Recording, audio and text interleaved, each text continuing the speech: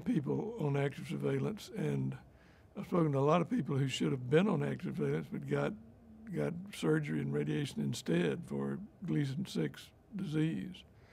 Um, active surveillance is excellent for Gleason 6 because it does not metastasize. And um, Dr. Klotz is the Dr. Laurence Klotz out of Sunnybrook uh, Medical Center in Toronto is the father of active surveillance in North America. And Dr. Klotz believes that any uh, Gleason 3, I mean Gleason 6 tumor that is one centimeter or less is probably not even worth worrying about. He, he doesn't even feel like he doesn't, for a person, doesn't feel like that's even cancer, as Dr. Snuffy Myers agrees.